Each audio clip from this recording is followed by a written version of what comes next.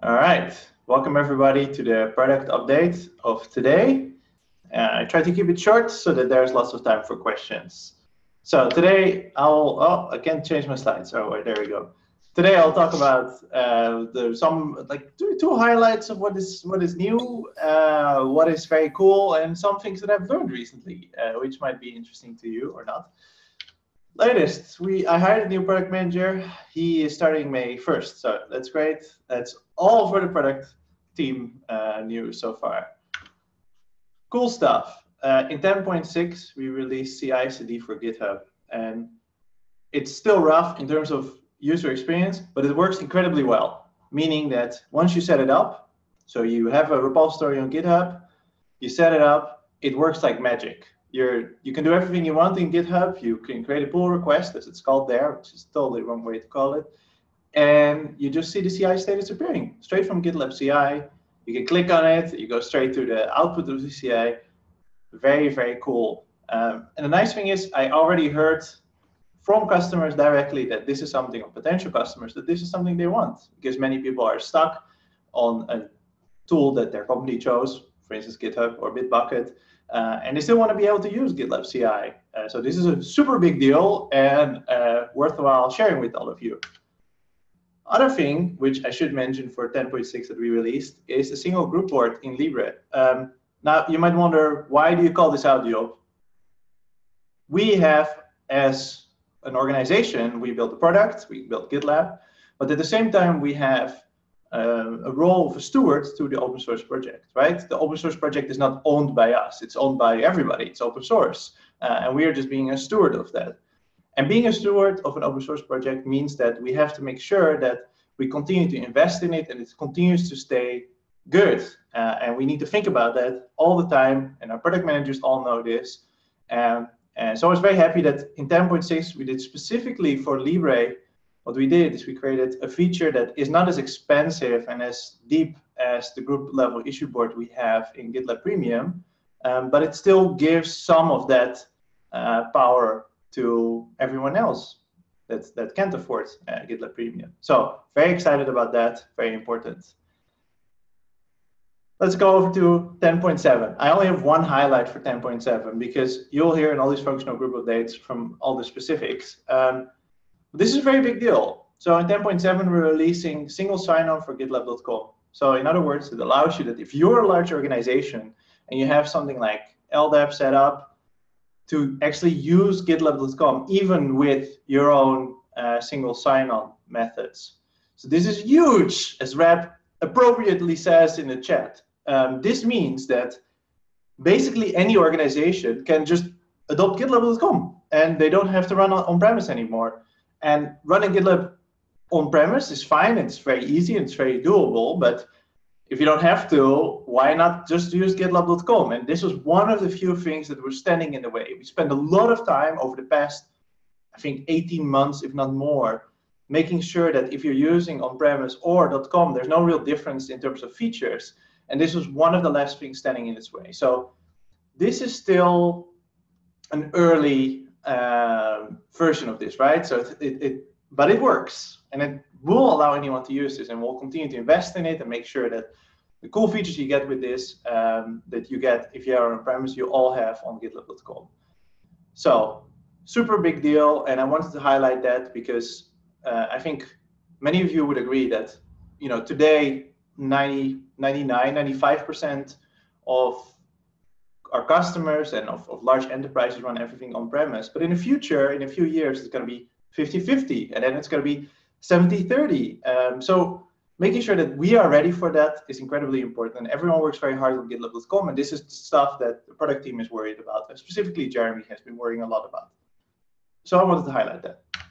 Now, some things that I've learned recently. Last week, I was in London at the Cloud Expo, uh, which is this big conference. I spoke to a lot of customers. I spoke to a lot of influencers, whatever you want to call them, um, and a lot of colleagues, which was very great. And there's a few things I've learned, and, and I want to summarize in like two points, uh, which might or might not be interesting to you. First off, issues are popular. At GitLab, of course, we use issues and issue boards a lot, uh, and so we don't know any better. But there's about I, I counted the other day. I think there's about 1.3 billion different project management solutions, and nonetheless, GitLab's issues are incredibly popular.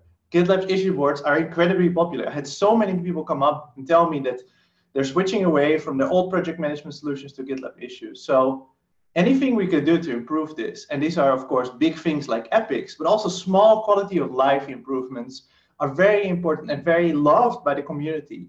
Um, so this was nice to hear, and I thought very exciting. It was two days ago. I was at the University of Porto, and they were telling me that rather than using Jira or they used Pivotal Tracker before, now they started to use for all the internal projects GitLab issues, and they said it was a huge success, and everyone loved it. Some people use GitLab issues together with a repository somewhere. Some some people used all of GitLab. Very cool to hear. That that ding was not by on purpose, but it, it did sound very nice. Um, Kubernetes, which is the way I was told by one of the creators of Kubernetes to pronounce it. So if you hear someone else pronounce it differently, I got it from the source. Kubernetes is huge. So you know that this is one of the fastest growing open source projects of all time. Um, and you know that we are betting very heavily on it. But with these kind of new technologies, what you usually think is that, well, there's a lot of people excited about it and a lot of people talking about it, but maybe not a lot of people actually using it. And when I say people, I mean large enterprises. Kubernetes is not like that. Everyone I spoke to is doing something with it. They are either in further stages than you would imagine of moving towards Kubernetes, they're exploring it heavily, or they're investing heavily. I was expecting that most people would have something to say about it, and I was still surprised with how big it is and what the immense interest and power behind this movement is. And this is a big deal because it validates our strategic choice to pursue this, right? Like we invest a lot of time, we want to make it very easy to integrate Kubernetes, deploy directly to it, etc. Um, and it seems to be actually as big or even bigger than we thought it was, and many people think it is. And then the last one, and this one is important. Whenever you go to a conference, uh, together with GitLab, you, we're standing there at the booth, you get two types of people roughly, right? You can separate two people. You have people that know GitLab, and the people that come to the booth, they self-select. They love GitLab. So it feels very good. But then there's a large group of people that barely have any idea what GitLab is. Many people think it's part of GitHub, which is of course something we have to teach them about that it isn't. Um, but there's also just a lot of people that are not sure what it is that GitLab offers exactly, right? They might say, well, I am aware of GitLab, I've heard of it, but I'm, I don't know what they exactly offer. If you're not someone that frequents Hacker News, and you're not someone that is you know, particularly involved in DevOps in, in the organization that you're working in, you might not know that GitLab has a CI component or even more than that, right? Um, there's still a lot to win in terms of mind share, in terms of teaching people what we offer. And even if you think about in terms of what people are using today, you know, we live in a world where CI is a normal thing, and you know, doing everything containers is the most normal. It's, it's old by now, right? Like I'm, I'm with my head at serverless, um, and I spoke to many people that said, "Well, we want to adopt CI, but we're not that advanced yet." Uh, and these are all potential users, all potential customers, and we still have a lot to win there. So I thought it was good to always put it in your head that you know we, we might be thinking about what is happening in the future, but there's also a large, large group of uh, people that in organizations that still have to get to know GitLab at all, and still have to learn how CI works and why you would, you know, put your CI definition and file in your repository. So, uh, and as a last reminder, GitLab 11, June 22nd, there's an issue, should be easy to find. Uh, super big deal. But until then, we're still releasing uh, GitLab 10.7 and 10.8. So with that, uh, any questions? Uh, I'll check the chat first, but you can also speak up. Uh, let's see.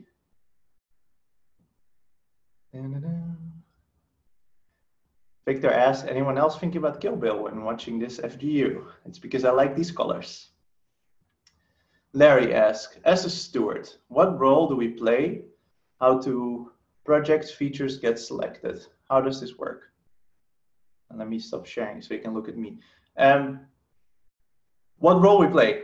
A very big role. Uh, we have to decide whether a feature lands in any particular tier. And we have elaborately documented this on our stewardship page. So I would urge you to check that out. It's about.gitlab.com slash stewardship. There we describe the process that we used and the decision that we make. We get it wrong sometimes, but the nice thing is that if you get it wrong, you can always restore it. So um, we often bring things from a higher tier to a lower tier or even to Libre. Um, let's see. Elsie asks, why are issues so popular? Uh, it's a combination of a few things. We want issues to be flexible and easy to use. That is very hard to do if you also want to make a powerful issue tracker.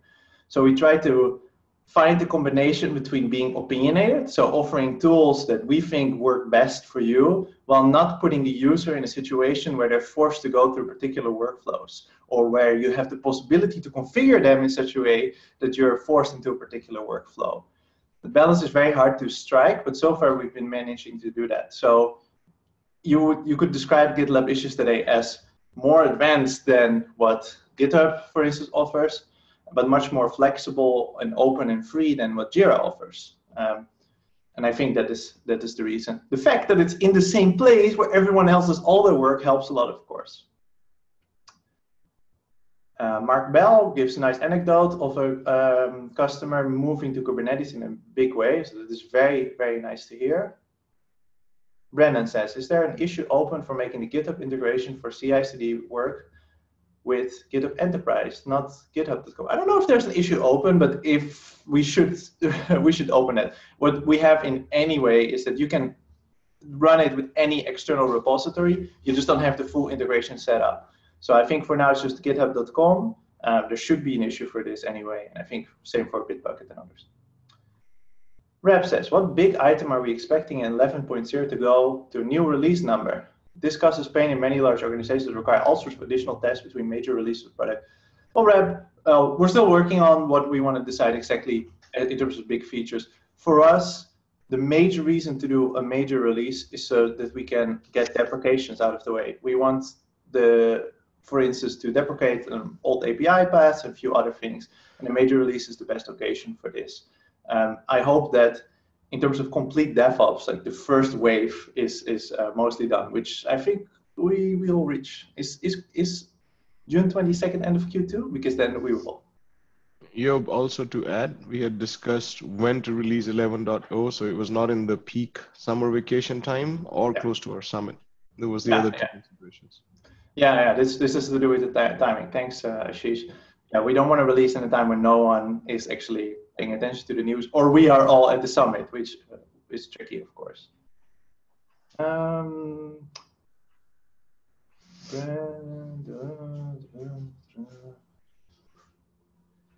and Mac says, plus one, my previous team switched to Trello boards because of the heavy configuration in Jira to get started. Yeah, so this is a clear competitor to us, right? We have GitLab issue boards, and there's Trello, of course, now of Atlassian. Um, so we want to make issue boards better than Trello in every way. Um, and, and doing that will allow us to get those people as well. All right, still have 17 minutes for questions. Um, don't ask, did I buy a new TV? I did. Is it in the background?